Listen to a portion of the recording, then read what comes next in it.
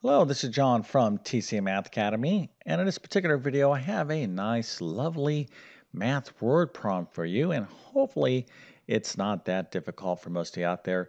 Feel free to use your calculator, but uh, let's go ahead and read the problem. It says a bottle is filled with 4 ounces of perfume. If 20% evaporates away, 20% of the per, uh, perfume evaporates away, how many ounces of the perfume remain?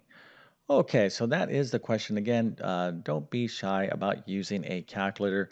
And if you can figure this out, go and put your answer into the comment section. I'm going to show you the correct answer in just one second. And then, of course, I'm going to thoroughly explain this problem step by step. Also, if you need math help with the course you're taking, test prep, or homeschooling, make sure to check out my math help program at tcmathacademy.com.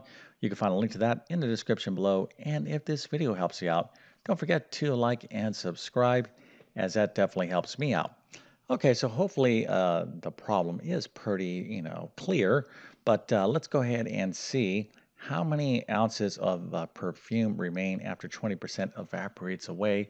And the answer is 3.2 ounces. Okay, so this is uh, what I think a pretty easy math problem. Now, if you didn't get this, you're like, wait, I got something different. Well, there's probably a good explanation for it. Probably know where you, uh, where some of you made an error. Okay, and you're and you're going to be like, oh boy, okay, I confused that. No big deal. But for those you who did get the right answer, let's go ahead and celebrate by giving you a nice little happy face, an A plus, a 100%, and a few stars. So you can tell your friends and family that you know exactly how to solve. What type of problem are we dealing with here? Well, I would say a percent problem.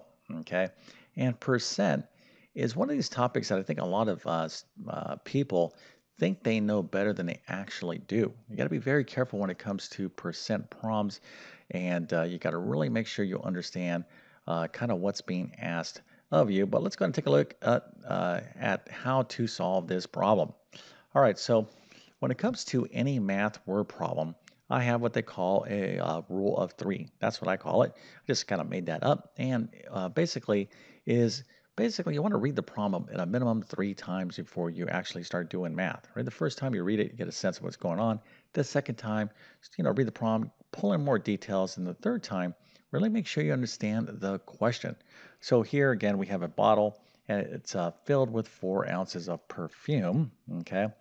And I'm being told that 20% evaporates. What does this word evaporates uh, mean? Well, it's like if you have a puddle of water after some rain, the sun comes out, and then that just water just kind of dries up.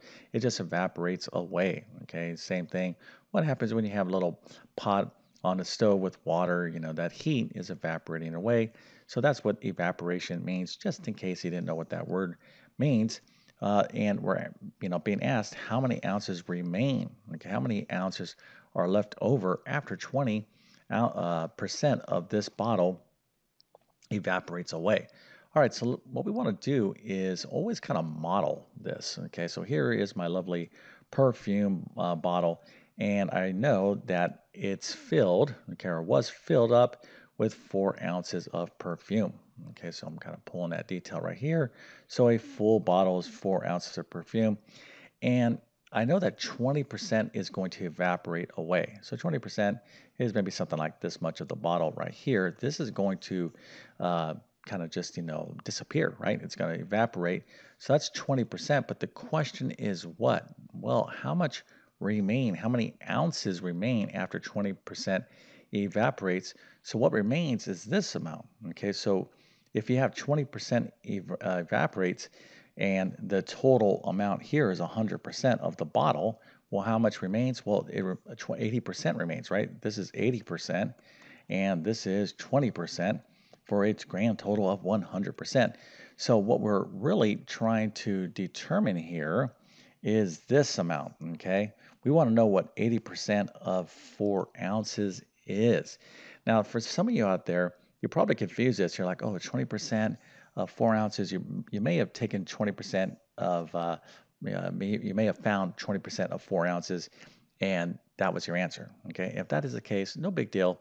Just remember, you got to understand what's going on. That's not how to get the answer. That's how much evap. That's how many ounces evaporated away. Now you could do this and subtract it away from four ounces, right? But an easier way to do that is just take 80% of that four ounces.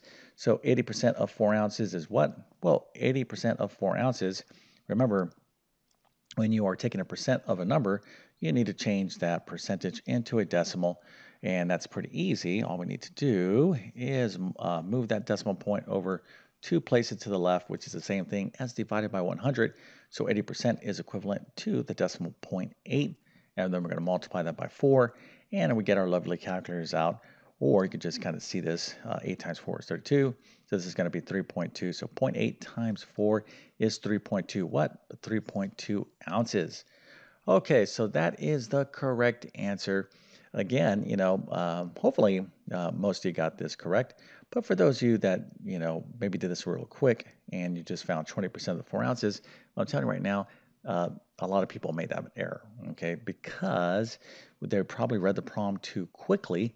And after I explained it, they're like, oh, I knew, oh, I should have known better. Yeah, yeah, I went too fast. And that is a big part of math. You got to really pace yourself, right? And some of you out there that are very good with math, you go too fast and you end up making errors. Okay, this is a, a, pretty common problem with strong math students. They get so excited, like, I don't need to read this. I don't need to listen to that guy on YouTube. He doesn't know what he's talking about. Yeah, so what if he's been teaching math for decades and decades and decades? I'm just going to read this thing once and go real fast. Da, da, da, well, listen, you know, I've seen this story time and time again. And one of the most uh, phrases, okay, that math teachers have uh, heard through the centuries is this. I knew that, I knew that, I knew that. And what you have is, please, Mr. Math teacher, please, please give me my points because I knew that. I knew that. Okay, well, if you knew that, you should have done that, right? So slow down, concentrate, and uh, I'm sure the next time around when I have a lovely word problem, you'll get this thing right, no doubt. Okay, so with that being said, I definitely wish you all the best in your mathematics adventures. Thank you for your time and have a great day.